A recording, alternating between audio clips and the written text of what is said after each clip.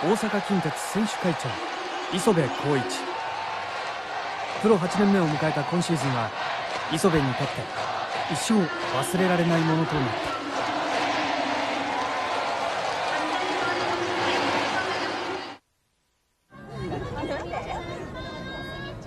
た。オリックスとの球団合併が発表されて以来磯部は去年までなら家族と過ごしていたはずの時間を合併反対の活動に充てた。気の休まる時間はほとんどなかった。うん。たまに寝てても夢で出てきますからね。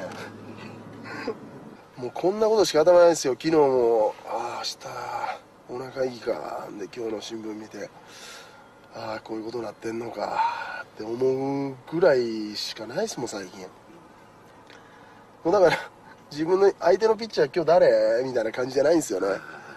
普通の時はねこうやっぱ自分の成績この時期になって考えながらやっぱりやるからああ今日松坂がちょっときついなとか思いながらやりますけど最近本当に あのパ・リーグ予告でしょ？全然予告なんか知らないですもんグラウンド行くまで。他のことばっかり考えてるから。で試合前のミーティングでああ今日あいつなんだみたいな感じで。やるぐらいなんでね。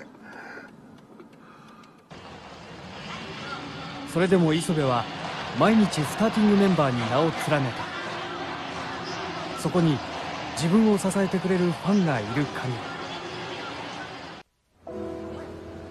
り。炎天下で続けられた署名活動。先が見えない戦いを続ける磯部に今の夢を尋ねてみた。今の夢ですか？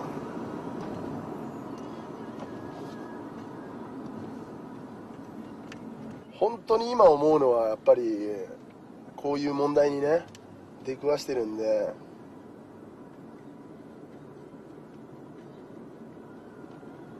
数年前にも戻ってねもうそういう問題ない中での野球を望みますよね僕らは、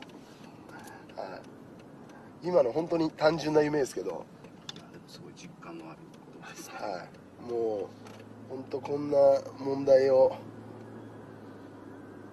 抱えながら野球やることはすごいあれですよストレスですよ。今年本当思いましたけど僕は。それでも磯部はグラウンドに戻ると勝負師の顔に戻っていた打撃成績はリーグ優勝を果たした3年前を上回る勢い。野球で見せることがファンへのそして球界再編へのアピールにつながると信じていた。野球の方はね、あのー、もちろん一生懸命やりますけども、あのー、別の仕事でも、あのー、どんどん、あの意見をしていきたいと思います。はい。しかし大阪近鉄とオリックスの合併が覆ることはなかった。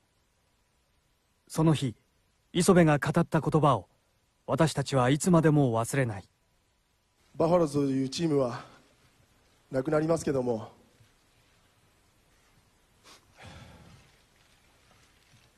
僕たちのこの近鉄への愛着や誇りは絶対消えません、え今後もバファローズの選手それからパ・リーグ、セ・リーグ日本プロ野球を今後も応援してください。ありがとうございました。